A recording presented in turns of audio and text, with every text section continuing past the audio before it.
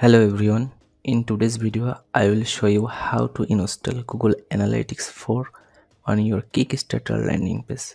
So first of all we need to go to analytics.google.com. Then we can see a dashboard like this.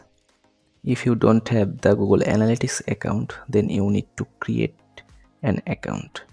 So now we need to copy the GA4 measurement ID so we need to go to the admin settings from here. Then we need to click on data streams from here.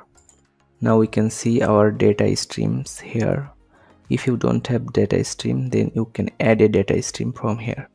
So now click on the data stream. Then we can see our measurement id here.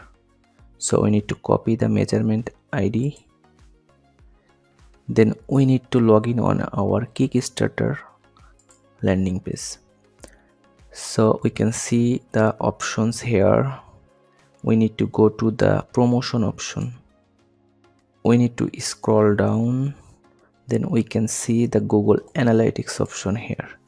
So here you can see we can put our tracking id here. We need to paste the ga4 measurement id here then we need to click on save button. So our google analytics is connected to our kickstarter landing page. Thank you for watching the video.